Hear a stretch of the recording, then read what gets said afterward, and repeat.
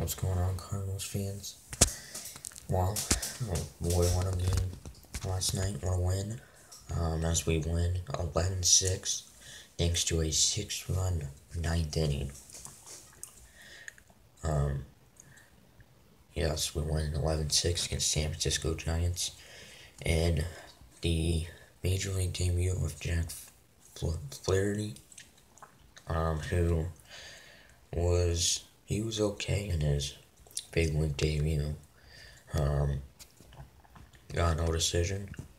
Um, pitched five innings, gave up seven hits, um, walked two, struck out three, so it wasn't that bad in his debut.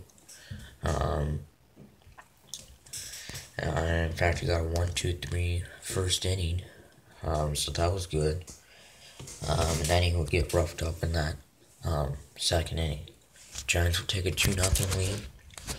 Bottom of the second on a two run homer by Brandon Crawford, who, sorry, who could have got a home run in last night's game, well, Thursday's game.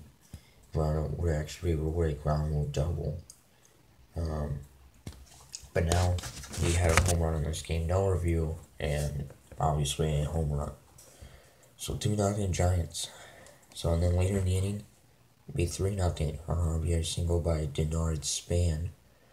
Um, that would put that would put them up three to nothing. Um, so and then we would make it a three two game and this was awesome to see. We would make it a 3 2 game on a two run homer in the first. First home run is in of his career for Harrison Bader. That's right, Harrison Bader got called up today, um, as well as a few other players got called up. Sandy Alcantara, um, who was also very young, only 21, from AAA. And um, yeah, just awesome to see Bader get his first home run off of Johnny Cueto. Um, yeah, so that was awesome to see. So congratulations to him. Um, so and then Giants would go up five two. Um, an RBI double by catcher Buster Posey. That'll put them up five two. Um, so we would make it a 5-4 game, top of the sixth. Two-run homer by Randall Grichuk once again. Right, another home run for Grichuk. Um, and it's now three straight games with a home run for Grichuk. He's been red hot. So that would make it a 5-4 game. Then we would tie it in the top of the eighth. An RBI triple by Greg Garcia. Would make it a a downward tide of about five. So I thinking it was staying tied until the ninth inning. And, you know, trying to get the win.